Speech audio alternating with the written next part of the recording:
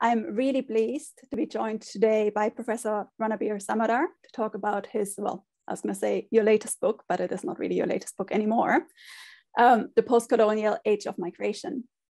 Before we get to the interview, I'll quickly um, uh, introduce my guest today. Uh, Professor Ranabir Samaddar is the Distinguished Chair in Migration and Forced Migration Studies at the Calcutta Research Group in Calcutta, India. He is a prolific writer and has published widely and influentially on topics such as migration and forced migration, labor, political struggles, justice and rights, as well as the nation, nationalism, and post-colonial statehood in South Asia. Among his influential works are The Marginal Nation, Transborder Migration from Bangladesh to West Bengal from 1999, and Karl Marx and the Post-Colonial Age from 2018. Today, we'll be speaking about a more recent book um, titled The Post-Colonial Age of Migration, which is published by Routledge in 2020. The book offers a really fascinating and thought-provoking set of arguments, I believe, and reflections and challenges really on a broad range of migration-related topics, ranging from refugee labor to citizenship and statelessness, ecological crisis, and Europe's so-called migration crisis. So it is, it's a really fascinating book and there's a lot of arguments that we bring forward in the book. Um, we'll be speaking only about a small number of those arguments today. I think one of the real strengths of the book's uh, book is, and, and it has many, but one of the real strengths is that you trace some of the precise kind of colonial and imperial genealogies that link today's discourses and practices to their kind of colonial histories and imperial histories. And I think what I also really like is that to you conceptually differentiate between colonialism and imperialism or empire quite carefully. Um, and in the book, you argue that um, delinking the history of the nation in migration studies from that of the empire has cost us dearly, not only in terms of understanding why nations behave in the way they do, at least certain nations, but also in terms of understanding the critical role migration played in shaping modern social governance and population politics.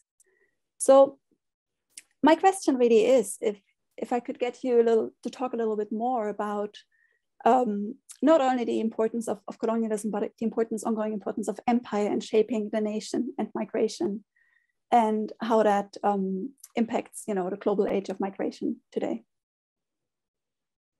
This is a very significant question. Uh,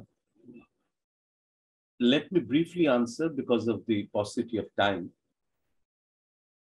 One is how do you study migration um, uh, in a presentist mode, uh, but on a historical template.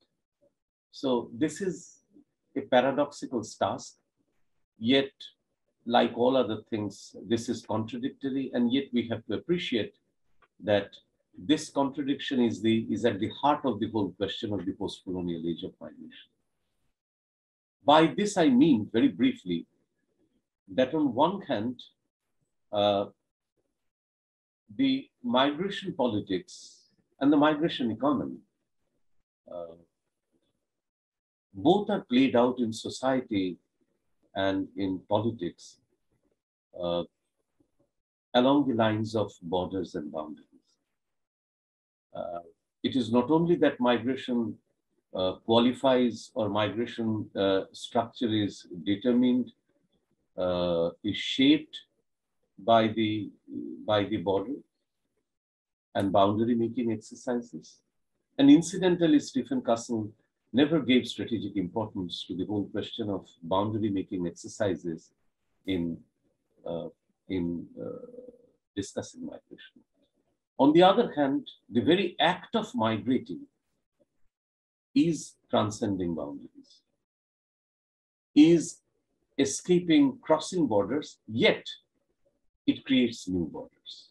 So how do you capture uh, this paradox? And I thought that instead of approaching it philosophically, which can be done, and I think which should be done, and I tried to suggest how it can be done. But again, my emphasis was not uh, discussing this in conceptual terms, but more in historical terms, that how this whole dialectic of migration and border making exercises, they play out or it plays out in contemporary history of capitalism and colonialism.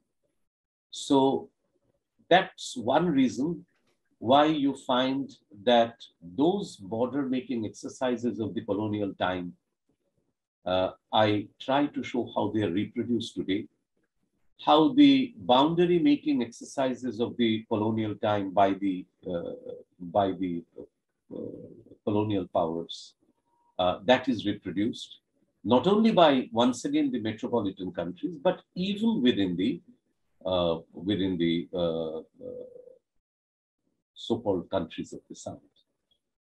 So uh, that's one. The other thing is that I think one of the reasons why we thought that the present age of migration uh, may be conveniently termed as simply a present age and not qualify it as the post-colonial age is partly because we have not examined the study of the nation form well. And here I have two answers, and pardon me for taking a minute more probably. One is that the, the reason why uh, nations think along imperial border making exercises along that logic is precisely because it is within the logic of the nation that you have also in a great many cases, I wouldn't say in all the cases, the imperial logic of extending borders, uh, uh, you know, and, and all other things that I have written in the book, even in labor market exercises. What is most significant is that in the labor market exercises, you find a combination of hard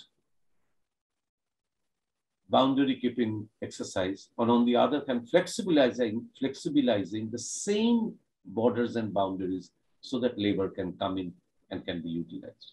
And it is not necessarily always a territorial border. These are economic borders. Uh, these are borders of uh, borders that supply chain of uh, goods and services uh, cross.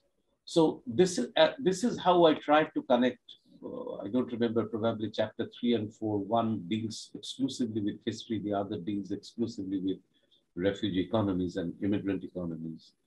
And then the other, you know, where statelessness is being produced is discussed probably in a later chapter. So these are connected precisely because uh, I tried to suggest that the nation inherits uh, the, the, some of the imperial uh, practices of uh, making. That's one. The other is that, unfortunately, again, when we studied nationalism and think of all big thinkers of nationalism, very big thinkers, including post-colonial thinkers. So from Gellner to Anderson to Hobsbawm to Homi Bhabha, Partha Chatterjee, the entire range, they never placed migration at the heart of the nation making exercise and at the same time displacing that nation making exercise. So the nation history of the nation form and the history of the evolving labor forms, they are intertwined. And this is what I wanted to argue, that do not separate these two histories and how the mobility of the 19th century or late 18th century to the history of the mobility of mid 50s, mid 60s, the, when the age of decolonization, let us say, comes to an end, hmm, and the age of nationalism, uh, they, are, they are linked. Unfortunately, historians and political theorists have uh, kept them separated. Uh, there were reasons, and we have learned much from their work. But I think that our history of uh, our historical understanding of the nation form will be much more enriched when we uh, uh place it on a platform of, uh, of uh, mobility. And to conclude my comment on that, one of the reasons why our understanding of the nation remains incomplete, because precisely because the nation wants a certain kind of population, a certain kind of territory, is perched on the fact that it will be able to expunge, to expel certain sections of population and entertain uh, another section of population as the core of the nation.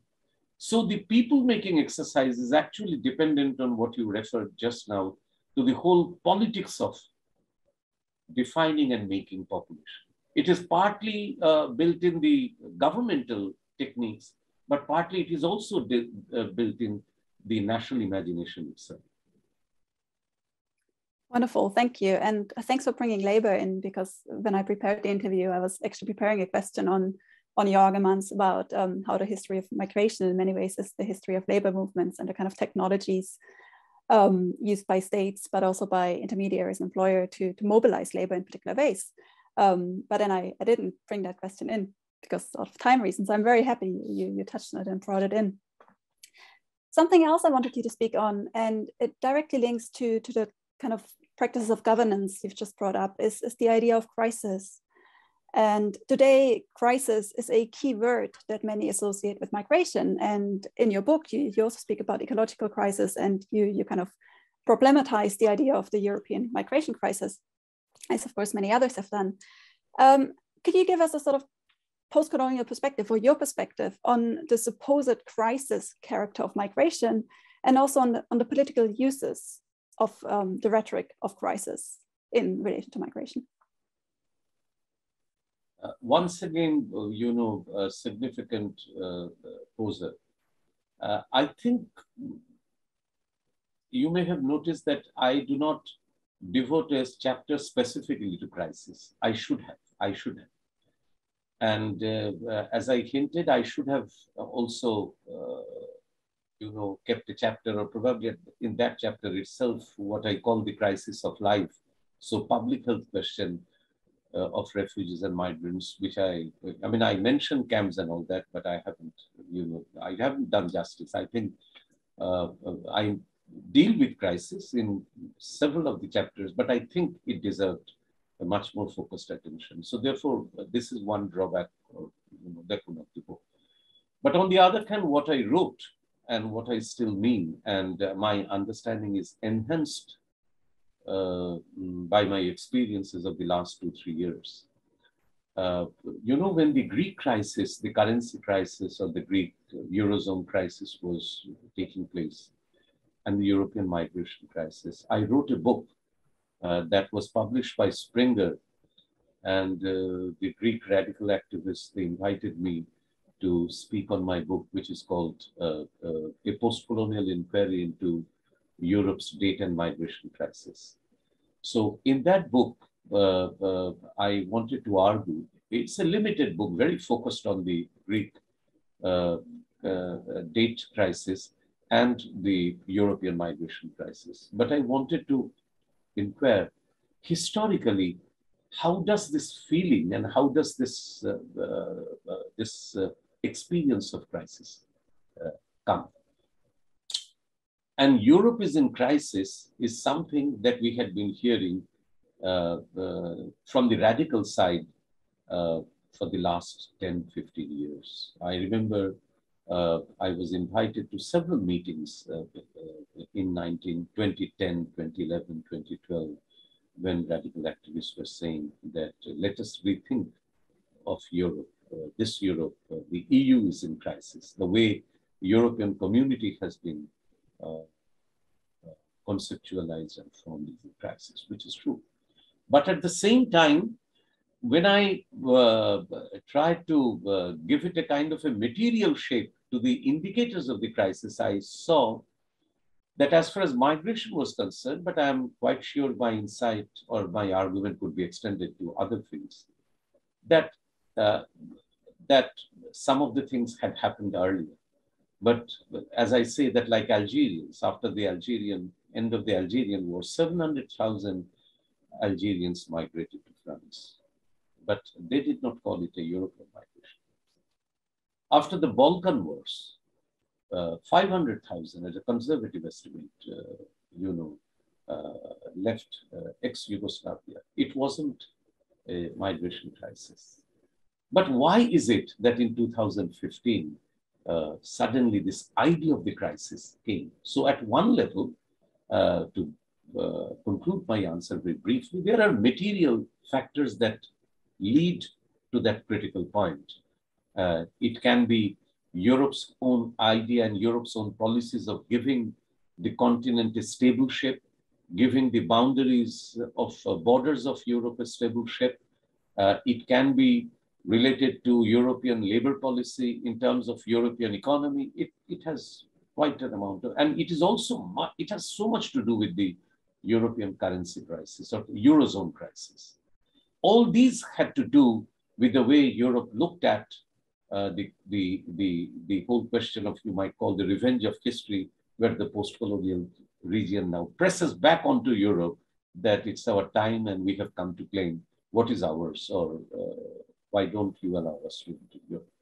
So European internal crisis and European, you may say if it is an external crisis, a, a crisis that is uh, uh, set off by certain external events, whether it is the war in, uh, in, the Middle East, you know, unsettling events uh, on the south of Europe, across the Mediterranean, Africa, etc. It, it, it, it's a combination of both that gives rise to a crisis. The second is also uh, important that, as you know, within each crisis or within what you call particularly the great crisis, you have a kind of a double movement of time. So on one hand, you have the secular time that is moving, whereas I said that certain factors, they're accelerating and they're bringing in the conflicts within that structure to a uh, uh, climactic point, to a climax. On the other hand, the actors in that situation, whether they are parties, the societies, the states, they think that the crisis is coming and they have to do certain things. And thereby, they only accentuate the crisis and they expedite the crisis. In fact, they bring the crisis to a head on situation. So it is that it is, you might say, kind of a diachronic, you know, uh, uh, uh, movement where the internal actions actually then accelerate the speed. So that, that, that's basically the question of why Europe uh, in 2015 and others. But on the other hand, I think it is important to understand also that migration, uh, the, the, the idea that migration is something that is abnormal and therefore, the whole question of the figure of the migrant as an abnormal figure. And I invoke Foucault's very famous, you know, lecture series, one of the lecture series, I think titled The Abnormal. So Foucault says that in 19th century, 18th century, the abnormal was found by the society, a three-headed child, etc., uh, etc. Et uh, and now, in the 21st century, the migrant has replaced those abnormal figures of Foucault as the abnormal of all time. So why did the migrant suddenly appear as an abnormal figure? And that is where I think it would be important to investigate, and I tried to do it in my own insufficient uh, and inadequate way, that uh, precisely the way politics was uh, carried on, and precisely the way, as I told you, the economy was carried on, and our understanding, which always lagged behind uh, the real developments, we always thought that th this figure doesn't really suit well uh, with, the, with the time. And it actually accelerates migration. As I indicated, that the second movement actually accelerates the secular movement of time towards crisis and therefore, uh, one of my anthropologist friends has coined the term, I think very well known, uh, very good, and but I had my qualifications of that. He's, he said shock migration. So migration is a product of crisis as well as migration jolts the society. It shocks the society. And I argued uh, in my conversation with him, if you're interested, I can send you the link, uh, where and his name is Biao Xiang, Chinese anthropologist, probably working in Max Planck, and very generous. He invited me to two, three rounds of discussion and wonderful, you know, uh, uh, uh, great insight. He wrote a fantastic book on migration in China. Uh, uh, and he he said that Ranabir, can you think of shock migration? Your book deals with it, particularly when you write of migration. But I said that look, one of the things is not only because the migration is produced out of uh, shock situation like the pandemic, uh, like great economic crisis, like wars, like massive labor shortage, like great technological overhaul. But at the same time, migration shocks society. And therefore, it basically exhorts the society to adopt certain things that if the society had not thought of in such, uh, you know, how do you put it, in such schizophrenic terms, and if society had thought of it carefully, it could have dealt it with a, in a different way, it would have understood migration is endemic. There is nothing, you know, exceptional to the thing. The last point would be what is the post what the, is the post-colonial got to do? Precisely the fact that this understanding of shock, the understanding of crisis, they stem both material and conceptually from the fact that there is a region outside and the problems are coming from there. So it is out there, the post-colonial region. It is out there, the backward regions of Africa, Asia, and Latin America. It is out there in those primitive war-torn, conflict-ridden countries, completely written by public health inadequacies, etc., where life is always, you know, uh, uh, surviving from one risky point to another. It is from there that the danger to European stability or the stability of the United States comes. So crisis, the, our understanding of crisis has much to do with how do we understand what you may call the ground outside the reality outside. No, this was wonderful, fascinating. Thank you. And um, thank you so much for joining me today. Uh, as you said, we are at the end of, of the time of the interview. But I just wanted to thank you again for, for coming to speak on your book, The Postcolonial Age of Migration. Um, and just invite you to give any final words or any final thoughts that you want to share before before I close the interview hopefully, hopefully, I, I, have heard I have heard from Diego that Bristol has a very good collegium of researchers on on refugee migration studies. He was telling me. So hopefully, one day we can uh, have you over to Calcutta, or when we occasionally go to Europe, we can meet up and you know discuss our work, exchange yes. our yeah that'd be wonderful. As as soon as we can we shall hopefully meet in person in bristol kolkata. I i have in mind that probably i will go to europe in march or april. Perfect. Perfect. I will stop the recording now but thank you again so much for for joining us. And um, yes hopefully see you in person soon